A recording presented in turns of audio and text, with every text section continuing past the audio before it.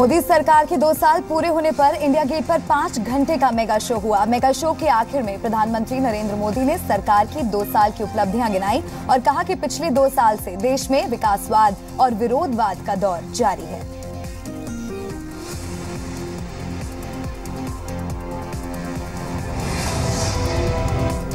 मोदी सरकार के दो साल पूरे होने पर इंडिया गेट पर हुए जश्न में अमिताभ बच्चन समेत शामिल हुए बॉलीवुड के कई सितारे। अमिताभ बच्चन और रवीना टंडन ने बेटी बचाओ, बेटी पढ़ाओ अभियान पर बात की तो अभिनेत्री विद्या बालन ने स्वच्छता अभियान पर अपना अनुभव साझा किया।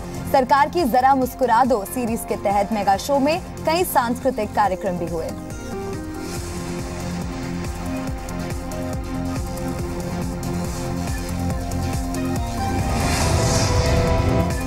दिल्ली में बिजली पानी के मुद्दे पर विरोध के लिए कांग्रेस उपाध्यक्ष राहुल गांधी को मशाल जुलूस की इजाज़त नहीं मिली। दिल्ली पुलिस से मशाल जुलूस की इजाज़त नहीं मिलने पर कांग्रेस के कार्यकर्ताओं ने टॉर्च लेकर राजघाट से लेकर दिल्ली सचिवालय तक मार्च निकाला।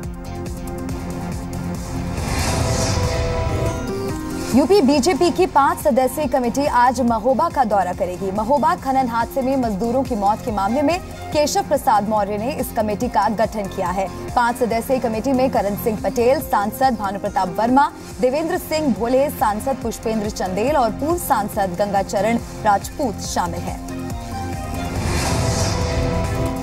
उत्तराखंड के टिहरी ज़िले में बादल फटने से कई गाँवों में सैकड़ों घर क्षतिग्रस्त हो गए और एक व्यक्ति की मौत हो गई। सड़कों को भारी नुकसान होने से कई जगह ट्रैफ़िक बंद हो गया और चारधाम की यात्रा प्रभावित हुई है। इधर देहरादून में तूफानी हवाओं के चलते कई पेड़ उखड़ गए। वहीं रुद्रप्रयाग और चमोली में लगभग कल मूसलाधार बारिश हुई, जबकि श्रीनगर में आंधी तूफ़ान से जनजीवन अस्त व्यस्त हो गया। रुद्रप्रयाग में पिछले एक हफ़्ते से शाम को लगातार बारिश हो रही है, जिसके चलते केदारनाथ यात्रा पर रोक लगा दी गई है।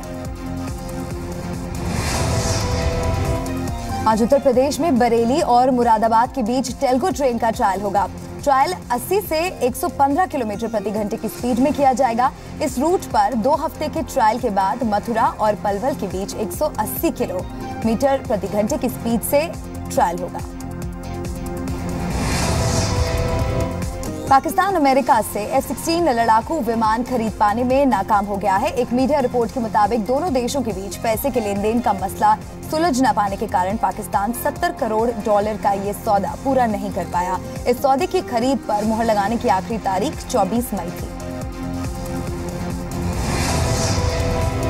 कांग्रेस के वरिष्ठ नेता और पूर्व केंद्रीय मंत्री वी नारायण सामी पुडुचेरी के नए मुख्यमंत्री होंगे। नारायण सामी को सर्वसम्मति से विधायक दल का नेता चुन लिया गया। कांग्रेस के केंद्रीय पर्यवेक्षकों, दिल्ली की पूर्व मुख्यमंत्री शीला दीक्षित और महासचिव मुकुल वासनिक ने नव निर्वाचित विधायकों के साथ विचार विमर्श कर इस फैसले की घोषणा की। जून महीने में इसरो एक सिंगल मिशन के तहत रिकॉर्ड 22 सैटेलाइट लॉन्च करेगा। इसरो चेयरमैन किरण कुमार ने ये जानकारी देते हुए बताया कि इनमें से तीन भारतीय होंगे और बाकी 19 व्यावसायिक होंगे। इसके पहले साल 2008 में इसरो ने सिंगल मिशन के तहत 10 सैटेलाइट लॉन्च किए थे।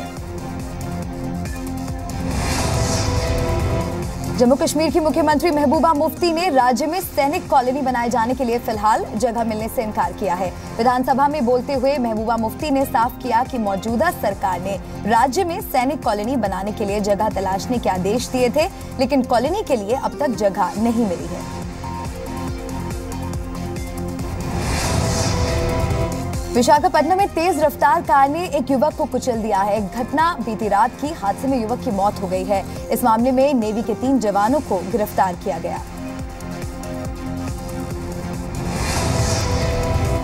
दिल्ली कैंट इलाके में बीती रात आर्मी बेस अस्पताल के पास सड़क हादसा हो गया, जहाँ एक तेज रफ्तार ट्रक ने एक कार को टक्कर मार दी। कार में दंपति और दो बच्चे सवार थे। टक्कर के बाद ट्रक कार को काफ़ी दूर तक घसीटते हुए ले गई। हालाँकि राहत की बात रही कि किसी भी कार सवार को चोट नहीं आई, लेकिन ट्रक ड्राइवर बुरी तरह जख्मी हो गया। दिल्ली में हिट एंड रन केस का मामला सामने आया। घटना दिल्ली गेट के शहीदी पार्क इलाके की है, जहाँ एक तेज रफ्तार कार ने स्पोर्ट्स बाइक को जोरदार टक्कर मार दी। टक्कर में दो बाइक सवार घायल हो गए, जबकि एक्सीडेंट के बाद कार ड्राइवर मौके से फरार हो गया। घायलों का एलएनजेपी अस्पताल में इलाज जारी है। बीती रात हुई बारिश ने दिल्ली वालों को गर्मी से कुछ हद तक निजात दिला दी। रात करीब साढ़े नौ बजे आंधी और बारिश की वजह से तापमान में गिरावट दर्ज की गई। दिल्ली में कल दिन का तापमान 42 डिग्री सेल्सियस दर्ज किया गया। मौसम विभाग के मुताबिक आज भी बारिश की संभावना है। आज दिल्ली का तापमान उनतालीस डिग्री सेल्सियस के आसपास रह सकता है। कल सीबीएसई के दसवीं के नतीजों का ऐलान कर दिया गया। इस बार कुल छियानवे दशमलव दो एक फ़ीसदी छात्र एग्ज़ाम में पास हुए। एक बार फिर लड़कियों से लड़कों के मुकाबले बाजी मारी। इस बार छियानवे दशमलव तीन छह फ़ीसदी लड़कियाँ और छियानवे दशमलव एक एक लड़के पास हुए।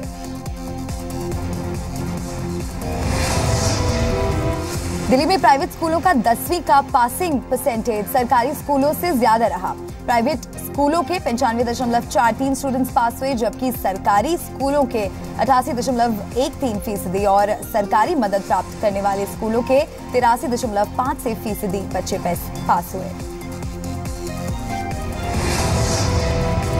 राजकीय शिक्षक संघ ने कल जंतर मंतर पर दिल्ली के शिक्षा मंत्री मनीष सिसोदिया के खिलाफ प्रदर्शन किया। शिक्षकों की मांग है कि बर्खास्त और निलंबित किए गए टीचर्स को बहाल करवाया जाए। औचक निरीक्षण के दौरान मनीष सिसोदिया ने तीन शिक्षकों को बर्खास्त किया और शिक्षकों को निलंबित भी कर दिया था।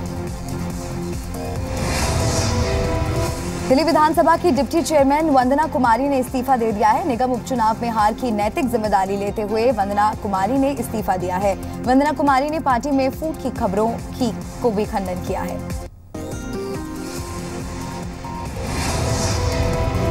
दिल्ली पुलिस ने सार्वजनिक जगहों पर धूम्रपान करने वालों के खिलाफ अभियान चलाने का ऐलान किया है। कल Delhi police special commissioner P Kamraj ने कार्यक्रम के दौरान बताया कि अब सार्वजनिक जगहों पर धूम्रपान करने वालों से दो सौ जुर्माना वसूला जाएगा।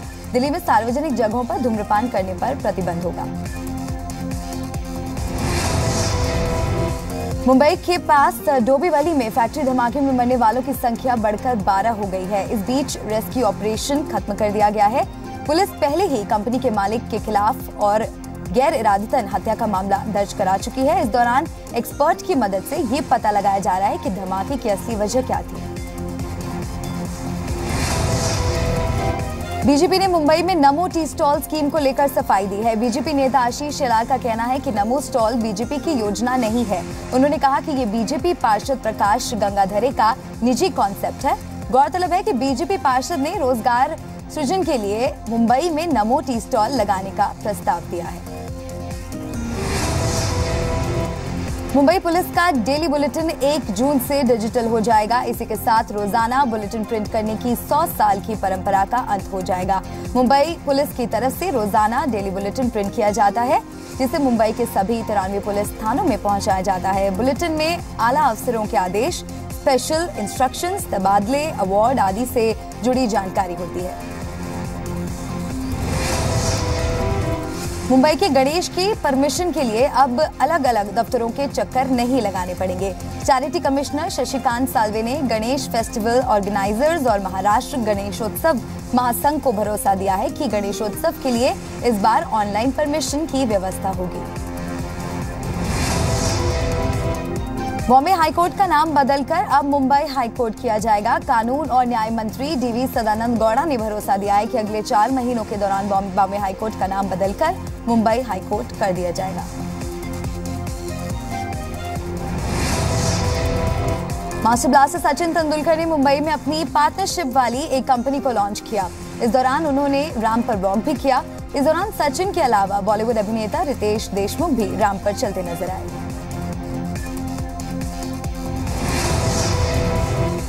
मुंबई की सड़कों पर साइकिलिंग का क्रेज देखने को मिला, जहाँ साइकिल सवारों ने पूरी रात मुंबई में 105 किलोमीटर की रेस लगाई। रेस की शुरुआत मुंबई के बांद्रा कूला कॉम्प्लेक्स से हुई थी। रेस में बुज़ुर्गों के साथ साथ कॉलेज के स्टूडेंट्स ने भी बढ़ चढ़कर हिस्सा लिया। महाराष्ट्र के कोल्हापुर में एक नव विवाहिता ने जहर पीकर जान दे दी। भाग्यश्री नाम की महिला ने कुछ महीने पहले ही सुरेश नाम के युवक के साथ प्रेम विवाह किया था, लेकिन उसके घर वाले इस शादी से खुश नहीं थे। आरोप है कि वो भाग्यश्री पर दबाव डाल रहे थे कि वो अपने पति को छोड़कर घर लौट आए। इसी बात से तंग आकर उसने जहर पी लिया और इलाज के दौरान उसकी मौत हो गई। नागपुर के ऑर्डिनेंस फैक्ट्री इलाके के दुर्गा देवी मंदिर में चोरों ने दानपेटी लूट लिया और मंदिर के पुजारी की हत्या कर दी। बदमाशों ने पुजारी के बेटे पर भी जानलेवा हमला किया। पुलिस के मुताबिक चोर रात में मंदिर में घुसे और दानपेटी में रखी रकम चुरा ली। पुलिस ने चोरों की पहचान कर ली है और उनकी तलाश में जुट गई है।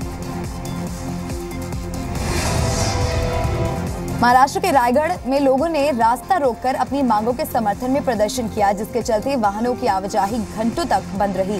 दरअसल, दिघी पोर्ट की वजह से रास्ते से भारी वाहनों की आवाजाही लगी रहती है और इसके चलते रास्ते की हालत काफ़ी खराब हो गई है। रास्ते की मरम्मत की ज़िम्मेदारी दिघी पोर्ट की ही है, लेकिन मरम्मत नहीं किए जाने से लोगों में काफ़ी नाराज़गी है। बस्तर के जगदलपुर में 10 महिलाओं समेत 40 नक्सलियों ने जिला कलेक्टर और एसपी के सामने सरेंडर कर दिया। कलेक्टर अमित कटारिया और एसपी आर एन दास ने साझा प्रेस कॉन्फ्रेंस में इसकी जानकारी दी। सरेंडर करने वालों को दस दस हज़ार के चेक भी दिए गए।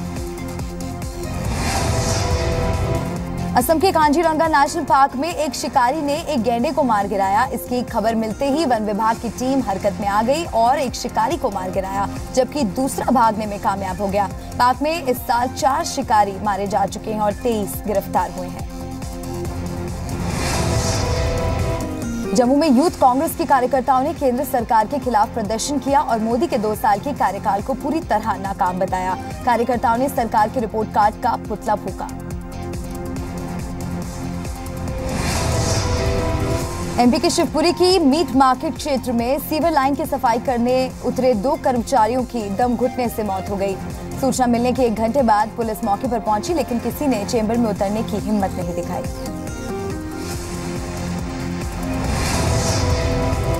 क्रिकेट को सट्टा बताने वाले हिमाचल के सीएम वीरभद्र के बयान की बीसीसीआई अध्यक्ष अनुराग ठाकुर ने आलोचना की है। अनुराग ठाकुर ने कहा कि मुख्यमंत्री को अपने बयान पर माफ़ी मांगनी चाहिए। किरण बेदी आज पुडुचेरी की उपराज्यपाल के तौर पर शपथ लेंगी। बेदी ने कहा कि वो राज्य में पर्यटन, कृषि, स्वास्थ्य और फिशरीज के विकास पर विशेष ध्यान देंगी। लखनऊ से शुरू हुआ सेना का ऑपरेशन सद्भावना टूर पहुँच पहुँचा है, जहाँ स्थानीय लोगों ने इसका ज़बरदस्त स्वागत किया। टूर में शामिल लोगों ने पुंछ के लोगों से विभिन्न मुद्दों पर चर्चा की। इन छात्रों ने आर्मी ऑडिटोरियम में अपनी बनाई हुई विभिन्न चीज़ें भी प्रदर्शित की, जिनके लिए इन्हें पुरस्कार पुरस्कार भी दिया गया।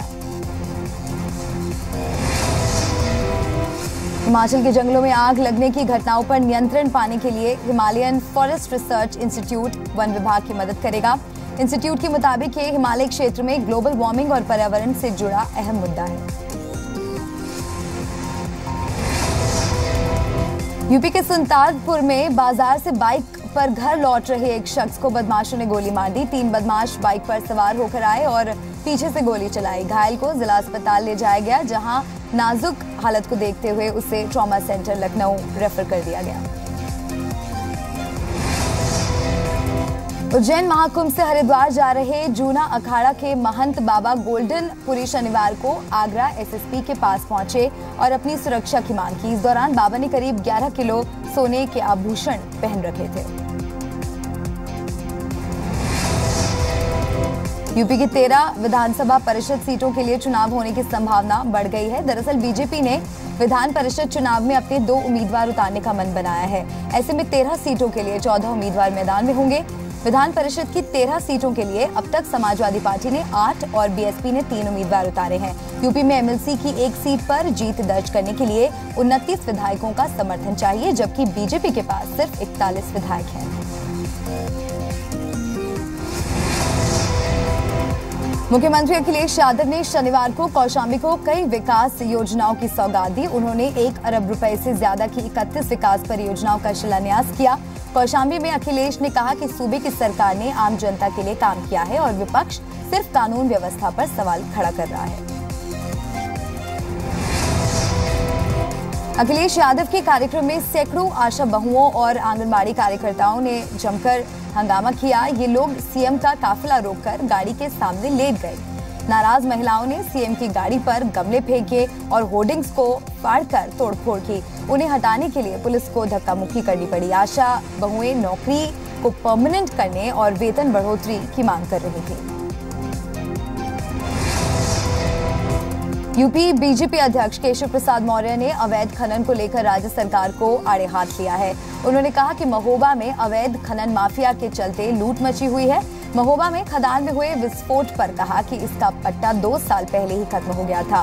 बावजूद इसके खनन लगातार चल रहा है।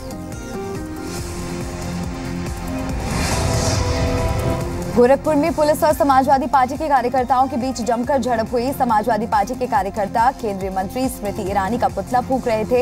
इसी दौरान हंगामा हो गया। पुलिस और एसपी कार्यकर्ता भिड़ गए। एसपी कार्यकर्ताओं का कहना है कि जब से केंद्र में मोदी की सरकार बनी है, तब से केंद्रीय यूनिवर्सिटी में छात्रों को परेशान किया जा रहा है।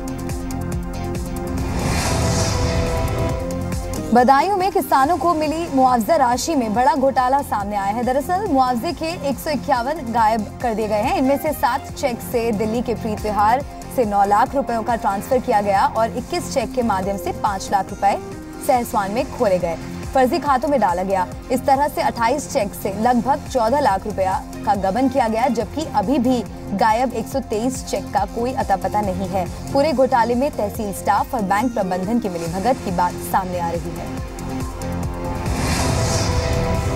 गाजियाबाद में मसूरी के डासना इलाके में दो मासूम बच्चों ने तालाब के पास पड़े बारूद में आग लगा दी, जिससे बारूद में जोरदार धमाका हो गया।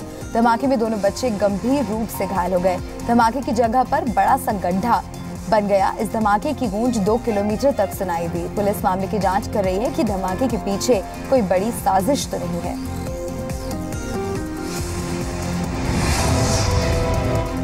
उत्तर प्रदेश के बिजनौर में एसपी आवास पर कोबरा के निकलने से हड़कंप मच गया। एसपी आवास पर तैनात पुलिस वालों को तस्वीरों में नज़र आ रहे इस कोबरा सांप ने खूब छकाया सिपाहियों ने इसकी सूचना वन विभाग को दी, लेकिन वन विभाग की टीम नहीं पहुँची, जिसके बाद सुरक्षा कर्मियों ने घंटों मशक्कत के बाद इस कोबरा को काबू किया।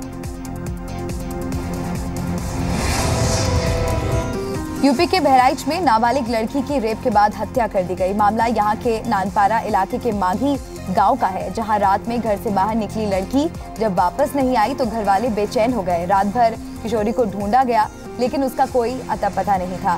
सुबह पता चला कि लड़की का शव गाँव से दो किलोमीटर दूर झाड़ी में पेड़ से बंधा हुआ है। मौके पर पहुँचे एसपी ने जाँच के लिए टीम गठित कर दी है। सोशल मीडिया पर पंडित जवाहरलाल नेहरू की तारीफ़ करने पर ट्रांसफ़र किए जाने वाले बड़वानी के कलेक्टर अजय गंगवार के समर्थन में कांग्रेस खुलकर सामने आ गई है। युवा कांग्रेस ने प्रदेश के मुख्य सचिव को खत लिखकर कलेक्टर के खिलाफ की गई कार्रवाई को गलत और ओछी राजनीति बताया है। बीजेपी के विकास पर्व के जवाब में कांग्रेस ने सरकार की नाकामियाँ गिनाने के लिए अपने नेता उतारे हैं। इसी सिलसिले में कांग्रेस नेता और अभिनेता राज बब्बर ने भोपाल में प्रेस कॉन्फ्रेंस कर केंद्र सरकार को आड़े हाथों लिया। भ्रष्टाचार, झूठा विज्ञापन, महँगाई जैसे मुद्दों को हथियार बनाकर सरकार पर निशाना साधा। रतलाम में आंगनवाड़ी के 12 बच्चे अचानक बीमार पड़ गए। आंगनवाड़ी कार्यकर्ताओं ने तुरंत अधिकारियों को बच्चों की तबियत खराब होने की जानकारी दी। बताया जा रहा है कि बच्चों ने आयरन सिरप पीने के बाद अचानक उल्टी करना शुरू कर दिया। फ़िलहाल सभी बच्चों का अस्पताल में इलाज चल रहा है। ओमकारेश्वर में हुए एक हादसे में दो लोगों की डूब कर मौत हो गई। कोठी तीर्थ घाट पर स्नान करने गए एक महिला और उसका 15 साल का बेटा पानी ज़्यादा होने की वजह से डूब गए। होमगार्ड के जवान अभी भी शवों की तलाश में लगे हैं। धमतरी में एक आठ साल की बच्ची ने तालाब में डूब रही चार साल की मासूम की ज़िंदगी बचा ली। हैरत की बात यह है कि जान बचाने वाली बच्ची नीलम खुद तैरना नहीं जानती। नीलम के जज्बे और हौसले की तारीफ़ अब गाँव का हर शख्स कर रहा है।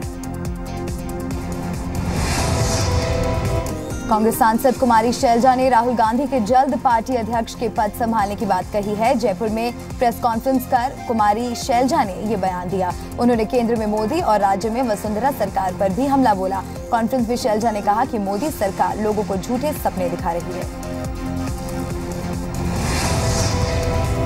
जाट आरक्षण के बाद अब गुर्जर आरक्षण आंदोलन की दस्तक दे रहे हैं। आखिर, अखिल भारतीय गुर्जर आरक्षण समिति के राष्ट्रीय अध्यक्ष ने गुर्जर आरक्षण की मांग उठाई है। रामवीर सिंह विधूड़ी ने चेतावनी दी कि गुर्जर आरक्षण के मसौदे को जल्द ही नौवीं अनुसूची में शामिल नहीं किया तो 2 अक्टूबर को दिल्ली के रामलीला मैदान पर सरकार का घेराव होगा। बूंदी के एनएच बावन पर केशवपुरा टोल प्लाजा पर हथियारबंद सरपंच और उसके समर्थकों ने हंगामा किया। सरपंच और उनके समर्थकों ने रिसेप्शन काउंटर, कंप्यूटर, एलसीडी और कुर्सियों से तोड़फोड़ की। हंगामे के दौरान मौके पर पहुँची पुलिस से भी सरपंच ने बदतमीजी की। सवाई माधोपुर जा रही एक निजी बस के पलटने से 25 यात्री घायल हो गए। बताया जा रहा है कि बस की रफ्तार तेज होने से ड्राइवर बस को कंट्रोल नहीं कर पाया, जिससे बस पलट गई। बस में करीब 50 से 60 यात्री सवार थे। जोधपुर का सरकारी अस्पताल देश के अन्य अस्पतालों के लिए सीख पेश कर रहा है। इस अस्पताल के कुपोषित वार्ड को प्ले स्कूलों के तर्ज पर सजाया गया है। वार्ड की दीवारें कार्टून कैरेक्टर्स की तस्वीरों से सजी हैं और साथ ही अंग्रेज़ी के अल्फाबेट्स लगे हैं। औरंगाबाद पुलिस ने सेना की भर्ती में फर्जी सर्टिफिकेट जमा करने के मामले में 28 उम्मीदवारों को गिरफ़्तार किया है। इनके खिलाफ जालसाजी समेत कई धाराओं की, के तहत केस दर्ज किया गया है। सेना की ये भर्ती रैली पिछले साल जुलाई में हुई थी। उज्जैन के ढांचा भवन क्षेत्र में एक महिला को उसके ही पति ने सड़क पर पीट पीट कर मार डाला। महिला की गलती महज ये थी कि वो अपने पति को बिना बताए अपनी बेटी से मिलने उसके ससुराल गई थी। दरअसल लड़की ने करीब आठ महीने पहले परिवार की मर्ज़ी के खिलाफ लव मैरिज की थी। इसी बात को लेकर ये शख्स अपनी बेटी से नाराज़ था। छत्तीसगढ़ के दुर्ग की जेल में रेप की सजा काट रहे एक कैदी ने खुदकुशी कर ली। वीरेंद्र वाल्मीकि नाम का ये कैदी जेल प्रहरी के कक्ष में रस्सी का फंदा बनाकर पंखे से लटक गया। खुदकुशी की वजह का पता नहीं चल पाया है। वीरेंद्र सजा काटकर छह महीने रिहा होने वाला था। यूपी के सिद्धार्थ नगर में शोहरतगढ़ के विधायक की बेटी के घर दिन दहाड़े लाखों की चोरी हो गई। शिकायत के मुताबिक बदमाशों ने नौकर के हाथ और मुँह बांधकर घंटों घर का कोना कोना छाना और कैश ज्वेलरी लेकर फरार हो गए। फ़िलहाल पुलिस नौकर से पूछताछ कर रही है। फरीदकोट में सिरफिरे आशिक ने एक महिला को ज़िंदा जला दिया। बाजीगर बस्ती में रहने वाली लड़की से बब्बू नाम का शख्स एक तरफा प्यार करता था। लड़की के इनकार को वो बर्दाश्त नहीं कर पाया और उसकी जान का दुश्मन बन बैठा। अमृतसर के न्यू गुरनाम नगर में ज्वेलर जसविंदर सिंह के घर में चार हथियारबंद युवकों ने उनकी पत्नी को बंधक बनाया और डेढ़ किलो सोने के जेवर, सत्तर हज़ार कैश लेकर भाग निकले। भागने से पहले लुटेरों ने पति पत्नी को एक कमरे में बंद कर दिया। करीब 15 से 20 मिनट बाद उनका एक कारीगर यहाँ पहुँचा और उन्हें कमरे से निकाला। टीकमगढ़ के पथवीपुर कस्बे में ज़मीन के विवाद में दबंगों ने महिलाओं और पुरुषों को जमकर पीटा। बीच बचाव करने पहुँची महिलाओं के साथ भी मारपीट हुई, जिसमें तीन लोगों को चोटें आई हैं। पुलिस ने दोनों पक्षों के खिलाफ मामला दर्ज कर जाँच शुरू कर दी है। जयपुर की मानक चौक पुलिस ने घरों में सेंध लगाकर चोरी करने वाले एक अंतर्राज्यीय गैंग का खुलासा किया है। गैंग के दो बदमाश भी पुलिस के हत्थे चढ़े हैं। दोनों यूपी के बरेली के रहने वाले हैं और जयपुर में मजदूरी करते हैं।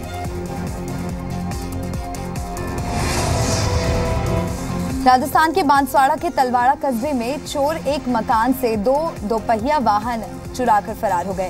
ये पूरा घटनाक्रम घर के बाहर लगे सीसीटीवी कैमरे में रिकॉर्ड हो गया। पुलिस सीसीटीवी फुटेज के ज़रिए चोरों की तलाश में लग गई है। इस बार पेरिस में हुए इनोरोबो एक्सपो में पेपर रोबोट सबके आकर्षण का केंद्र बना रहा। दिखने में किसी बच्चे की तरह लगने वाले इस रोबोट की खास बात यह है कि ये इंसानी निर्देशों को आसानी से समझकर उसी के मुताबिक प्रतिक्रिया देता है।